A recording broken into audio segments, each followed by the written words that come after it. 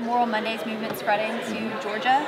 Um, do you see North Carolina as a template for states around the country? Is this something that can spread like wildfire, especially this year given the 50 year anniversary of Freedom Summer? Well, I think it has to. I think we have to have a movement that says that these extremist Tea Party policies are not just bad politics, but in fact they are constitutionally inconsistent, morally indefensible, and economically insane. Uh, movements that destroy the myth of extremism and, and understand the intersectionality about of, of, of these issues, uh, like health care, like um, um, economic sustainability, and the other issues I mentioned.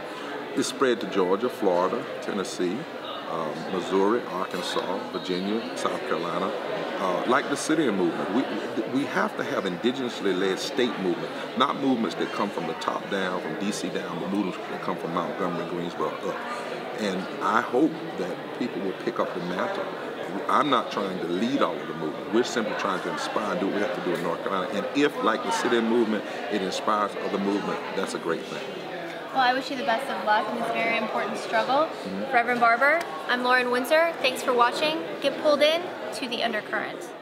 Undercurrent, under the surface, makes the mainstream get so nervous. It's time for purpose, for news to serve us, not with propaganda they use to hurt